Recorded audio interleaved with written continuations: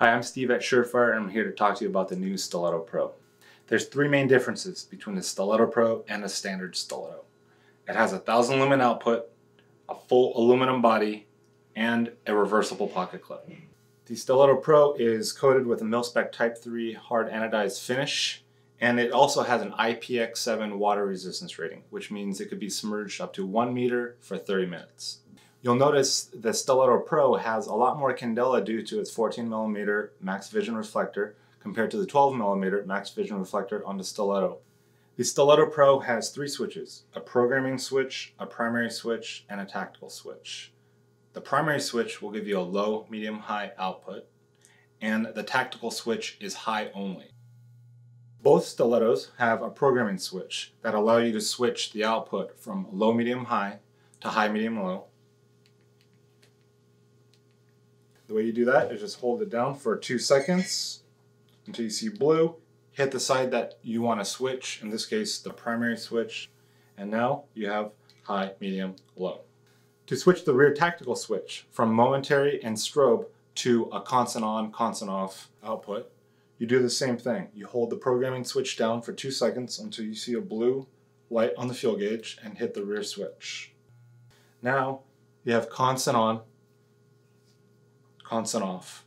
The Stiletto Pro features recessed switching so that the output doesn't get accidentally activated when it's in a pocket, backpack, or purse. The Stiletto Pro features an integrated rechargeable battery. The Stiletto Pro has a fuel gauge, a little LED um, that will tell you the battery status when you're charging it and when you're using it. So it'll illuminate when you're using it, green, yellow, or red. Green meaning the battery is good, yellow is approaching a, a uh, lower charge on the battery, and red meaning to recharge immediately. When you're charging the Stiletto Pro, the same thing illuminates. Red, yellow to green.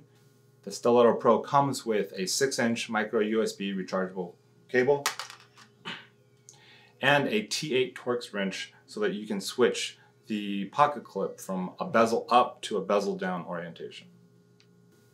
The Stiletto Pro out of the package comes with a pocket clip in a bezel up orientation. If you prefer, you can install it so that it's bezeled down. The Stiletto Pro comes with a new disable lockout feature, which allows you to totally disable the light in case you want to store it in a backpack or a gear bag. The way you disable the Stiletto Pro when you want to store it in a gear bag or backpack is you hold down both the primary switch and the tactical switch for two seconds until you see two green blinks on the fuel gauge. Now the Stiletto Pro is totally inactivated.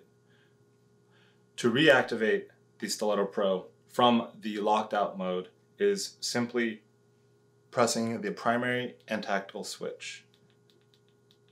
For more information, you can go to surefire.com.